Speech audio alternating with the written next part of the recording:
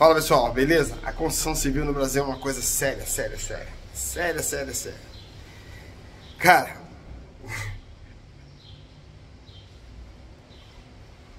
Lembra que eu falei da moldura do apartamento, que eu pintei, tive que pintar e tal, tal, beleza. Correto? Aí eu cheguei aqui hoje, segunda-feira, tá vendo? Véspera de feriado. Apartamento pintado, tudo acetinado, teto, parede, aquela coisa. Tá bem pintado pela idade do apartamento, pelo que foi proposto de investimento do cliente na pintura, né? A gente conseguiu deixar o apartamento 90%, 98%, porque não tem massa corrida, não foi aplicado massa corrida, a pintura é muito antiga, enfim. Beleza?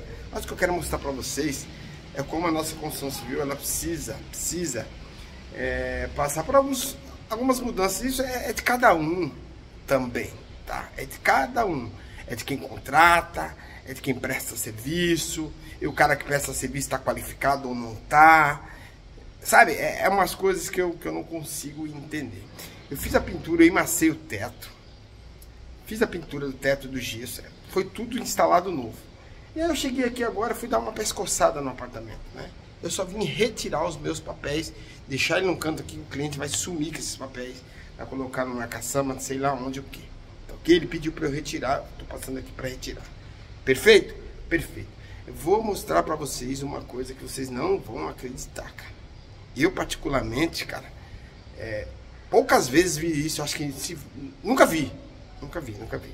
Eu já vi outras aberrações na pintura. Na construção civil. Mas igual isso eu nunca vi, cara. Nunca vi. Eu pintei todo o teto. Vocês viram esse teto aqui? Eu pintei. Tá vendo?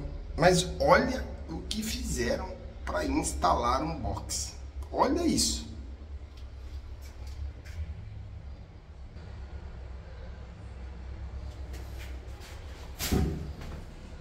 Olha isso, cara.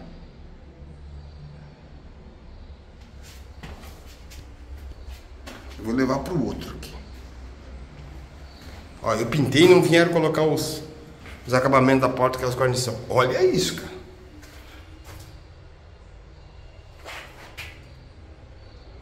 Meu Deus do céu, cara. Aí. Sabe que é, é gestão. É gestão. Na minha opinião. Porque se você fala assim, instala o, box primeiro, instala o box primeiro, eu daria um jeito de pintar ali, amassar ali sem fazer aquilo. Tá? E como que os caras conseguem fazer um trabalho daquele? Cara? Não tem uma forma de cortar pelo menos um pedacinho. Vamos voltar lá. Poderia ter cortado pelo menos um pedaço pequeno, cara. O cara com uma fita cortar pelo menos o grau certinho, cara. Ó.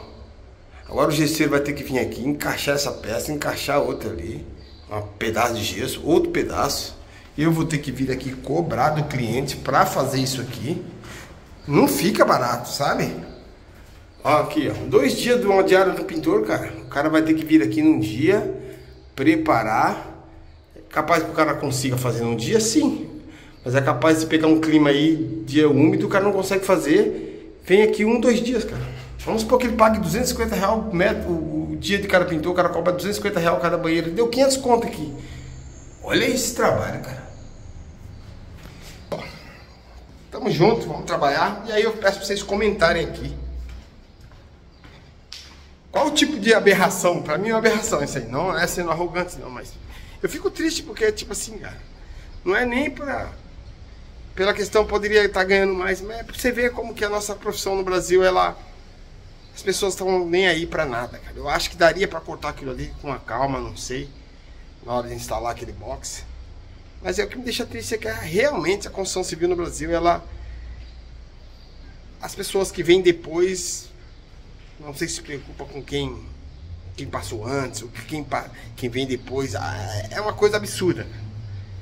Absurdo, absurdo, absurdo. O cara não viu que aquilo ali tá pintado. Enfim. Valeu, pessoal. Ótima semana a todos. Você um bom feriado. Comenta aqui o que vocês acham sobre essa, essa situação. Beleza? Tamo junto, é nóis.